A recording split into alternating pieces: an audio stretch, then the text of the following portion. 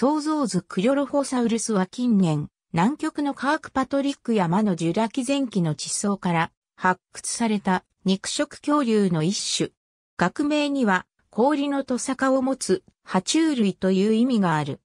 発掘された化石は未だ少数だが、それらから推測される大きさは頭骨の長さ65センチメートル程度、全長は6から7メートルほどとされるが、これまでのホロタイプ標本は未成熟個体であるため、成熟個体はより大型になる可能性が指摘されている。最大の特徴は涙骨が変化して形成されている薄い線状の土坂で視覚的なディスプレイ機能だったと思われる。滑石にはアロサウルス類に見られる特徴とディロフォサウルス等に見られる原始的な特徴が入り混じっていることが確認されており、この恐竜が進化浄土の系統に属するかはまだ結論が出ていない。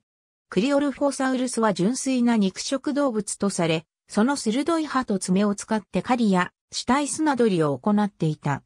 かつては、共産した竜脚類のグラシアリサウルスの骨が本種の喉から見つかったと報告された。これに基づき捕食者クリオロフォサウルスが被食者グラシアリサウルスを襲うという作品が複数生み出された。